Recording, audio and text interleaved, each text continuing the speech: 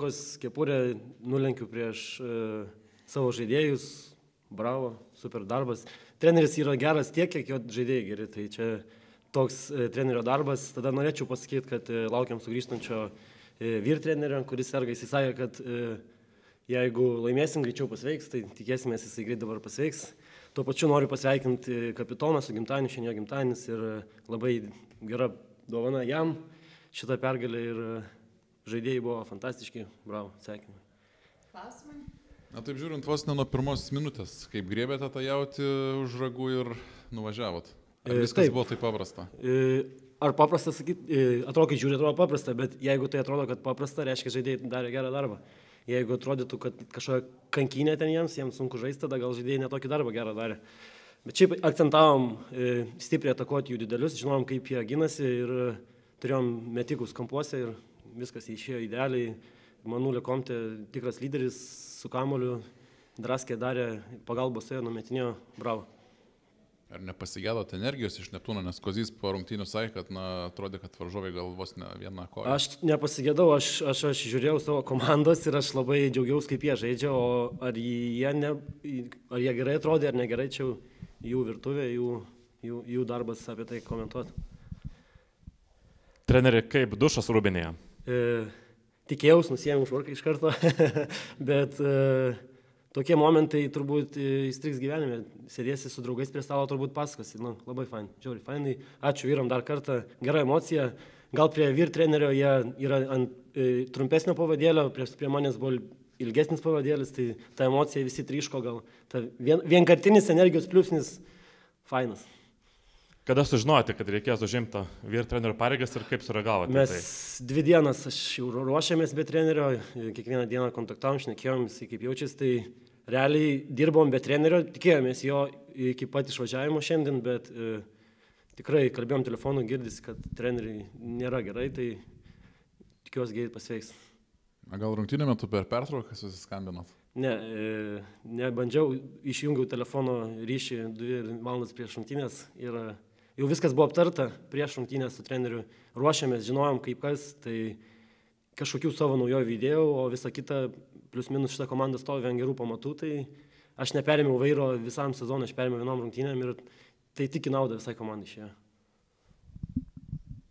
Ar čia buvo pirmasis rungtynės jūsų karjeroje kaip vyriausiojo trenerio? E, su vyrais tai pirmą kartą ir nežinau, čia filmą galima kur turbūt prieš tokį trenerį, man garbėjo aplamai stovėti viens prieš vieną ir dar komanda paėmė pergalę, tai čia, wow. Sezoną pradėti kaip trečiasis treneris, įgūdžių e, treneris ar ne žaidėjų. Kaip dabar toks pokytis, kaip pusę sezono praėjo ir teko stoti?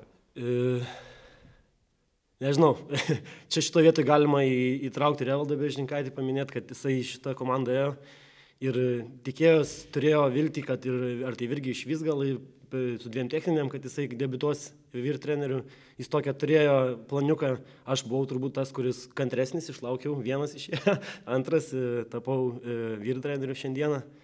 Tai pats persiformavimas, tai buvau daugiau individualiai už varžovus žaidėjus, už mūsų žaidėjus individualiai atsakingas, po to Evaldo nebebuvo, jau ir polimas ir gynybos kitų komandų man prisidėjo, tai buvau pasiruošęs, analizavau pats komandą šitą ir e, viskas pagal planą buvo. O kaip pats rungtynėse jautėtės? E, Kaip vyrai matėt, jie kaip žaidė, taip aš jaučiausi, tai fantastiškai. Jokio jaudulio, tik tais geras jausmas, pačiam nei krepšinį reikmės, nei, nei nieko daryti, tiesiog padiriguoti, pasureaguoti, jeigu reikia kažkas pavargęs, kažkur bloga atkarpėlė ir tiek. Virginijui Šeškui dviejų progų neužteko veikti Neptūną, jis nekartą minėjo, kad labai nepatogi komanda, kodėl šiandien patogi buvo komanda. Aš pataisysiu, e, mes KMT žaidėm du kartus ir vieną kartą LKL, tai tris kartus žaidėm. E, Pirmą čia gavom e, be valčių, mes čia tiesiog atvažiavom mūsų kūnai, bet e, daugiau nieko. Tai tas rungtynės mes pamiršom ir tai nėra kažkoks rodiklis. Antras rungtynės mes e, rungtynių metu praradom du savo svarbiausius žaidėjus. Manulė Komte gavo traumą ir gavo vėl Evaldas Šaulys, kurie buvo tikrai, fan, jie buvo, mūsų vedliai buvo. Evaldas Šaulys turėjo tuo metu tokią statistiką, gal net kuri būtų arti rinktinės kandidatų sąrašo. Tikrai buvo 5 procentų trajekas, antras, trečias pagal naudingumą žmogus, tai tas rungtynės mes kontroliavom lygiai taip pat kaip čia kontroliavom. Tik tiek, kad iškito du svarbus žaidėjai ir tiesiog emociškai sprogom. O tas trečias rungtynės, tai nu vėlgi, ta mūsų situacija buvo ten su šešių, penkių žaidėjų rotacija. Tai nesakyčiau, kad treneris blogą darbą atliko, tiesiog e, buvo vienos rungtynės, kurias galėjom lygiai taip pat laimėti ir traumas ap, e, užtiko. Kaip bandė atsuktis iš tos šiandien situacijos, kai pirmoji, antroji minutė Kalilas iškrito jau?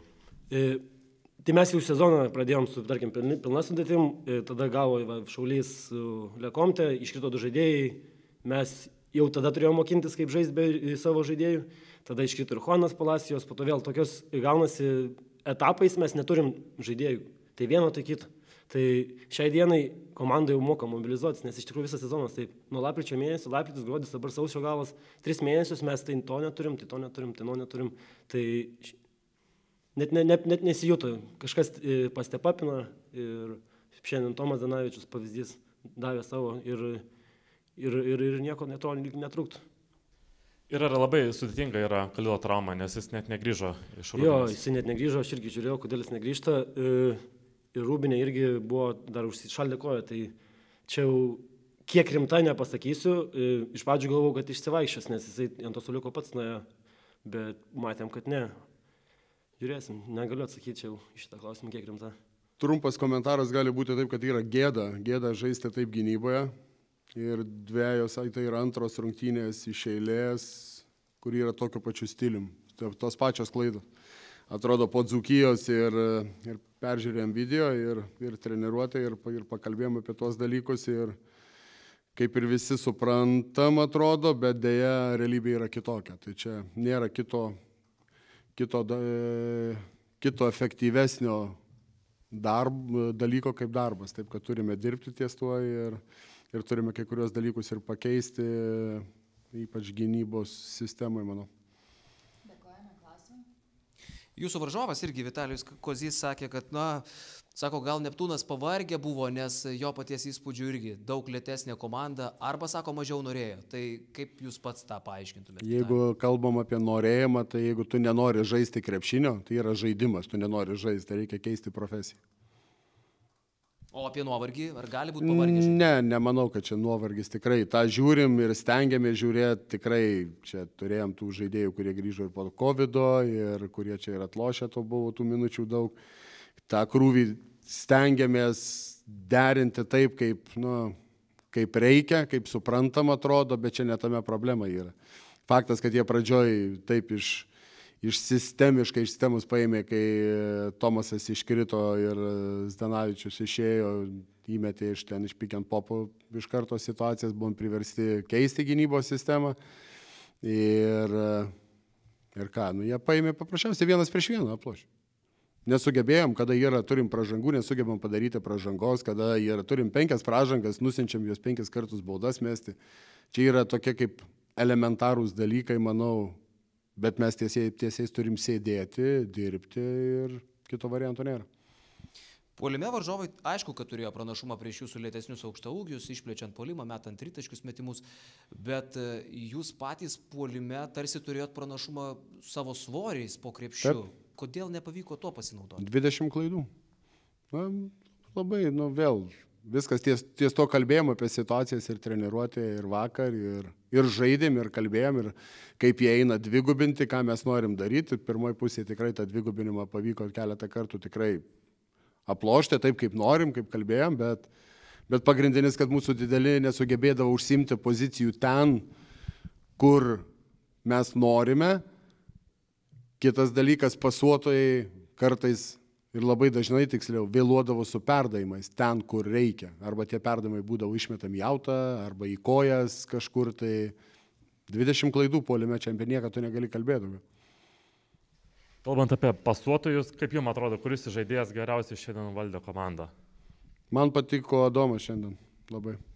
Ir e, čia kaip sakau, čia gal, kad jisai vat grįžo, dar tikrai treniruotėse lab, lab, tikrai labai stengiasi, tikrai nori įrodyti, kad vertas to laiko, jisai manau šiandien įrodė ir man kaip treneriui yra tikrai lengviau kitose rungtynėse priminėti sprendimus, nes nu, jisai duoda tą, ko reikia, jisai duoda ir presiją, jisai ir, ir komandos valdymą turi, supranta, ko, ką reikia padaryti, taip kad nu, čia toks vienas pozityvas iš šito galima.